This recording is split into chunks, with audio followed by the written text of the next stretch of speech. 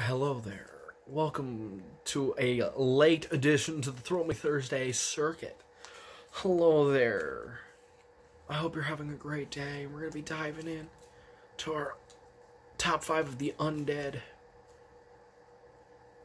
And being that we've all been basically locked in a cage for two months, we can all kind of uh, see eye to eye with these characters. I feel like we can all identify. Coming in at number five. Oh, no honorable mentions, Drew. No honorable mentions. Coming in at number five, Dracula, 1931. Bela Lugosi has to make the list. Uh, should be higher, but uh, great performance, great film. Love it. Learn it, live it, love it. Uh, check out the Philip Glass scored version. Oh, it's incredible. Great, great, great movie. Uh, and great, great character choice. Great, great job by me. Great job by me. Pat myself on the back. Number five, great job. Number four, oh, Dracula again.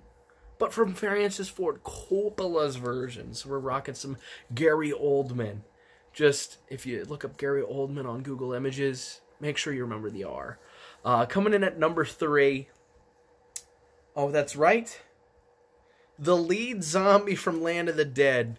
I'm not really sure what the name of the character is. They don't really refer to it in the movie, but he's basically Bub, uh, and he's learning to use the gun. Uh, But I really like him, and I really feel like he gives a performance to it. Like you feel like you know what this might be a brainless zombie, but in a way, we're all brainless zombies that need to learn. And once we're made aware of it, we can start learning. So great job. You did it. Congratulations. Number three. Coming in at number two. Oh, uh, you know what, Drew? I agree on one of your character choices here. Uh, but I think you picked the wrong movie. Yes, that's right. Jason. Jason comes back from being dead in part six, not part seven. Let Sleeping Jason lie. That's right. Hashtag Friday the 13th ends after part six and then comes back for uh, Jason X, right? We got to enjoy the really, really bad one. um, no, Drew, you, and everybody knows this. I am not a huge fan of part seven. Never really, never really connected with me. The Carrie versus Jason thing always just made me kind of like, and I always felt like the movie didn't really have a story. Like it kind of meets the bare minimum requirements. But uh, part six is where it's at, Drew. Part six, man. I, I I don't get it, man. Thom Mathews is crazy good in that.